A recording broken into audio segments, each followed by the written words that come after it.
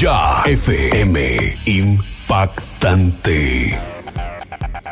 Estás en www.ya.fm. Esta semana vamos a platicar de cine y qué mejor con el estreno que acaba de llegar, que es Chapi. Chapi es la tercera eh, obra y producción del director de Nate Blomkamp, que ya trabajó con Elysium, hizo también Distrito 9 y esta vez nos trae una historia diferente que es Chapi, donde nos involucramos en la historia de un robot que supuestamente es la evolución de la raza humana y que ya tiene su vida propia. En ella tenemos a Dev Patel como el científico encargado de esto, Hugh Jackman es el gran villano y Sheldon Cooper es el que se encargó de interpretar el robot Chapi con un cat motion similar o casi igual a lo que hace Andy Serkis. Esperemos que con esta cinta Nate Blomkamp vuelva a retomar el típico cine que nos tuvo acostumbrados con Distrito 9.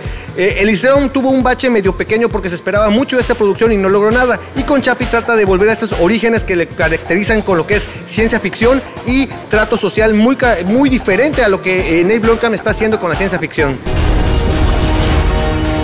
Así que ya saben, tienen que checar Chapi, la nueva producción de Nate Blomkamp. Eh, les recuerdo, va a estar de Patel, está Hugh Jackman, está Sigourney Weaver, también está Sher Copley como eh, Chapi, así que prepárense para ciencia ficción innovadora.